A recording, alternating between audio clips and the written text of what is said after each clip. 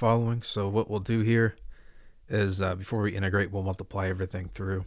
So x raised to 1 third, then we'll end up with 4 minus 4x plus x squared.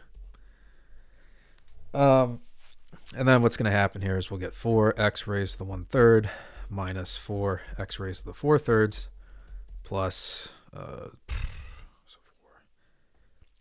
So that's 6, x raised to the 7 thirds. Integrate everything, so we end up with 4 x raised to the 1 third, add 1 to it, so then we divide through by 4 thirds. Yeah. Minus 4, so 4 thirds. 7 thirds. Um, plus x raised to the 7 thirds plus 1. 7 thirds is 10 thirds. Yeah. So we're going to end up with 12 divided by 4, x raised to the 4 thirds. So that's just 3 minus 12 divided by 7, x raised to the 7 thirds plus um, 3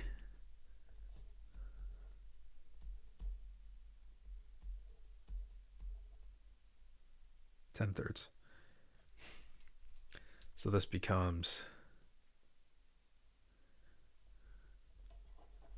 3. And then we add C. All right, so that's that's this is our solution, but I got to check it really quick. Okay, so if I check it, pull pull pull down the 4 thirds, so I get 12 over 3 x raised to 1 third minus 7 thirds so it becomes 4x raised to the 4 over 3. And then plus, it cancels the 10, so we get 3, 3, just x raised to the 7 thirds. And then c becomes 0.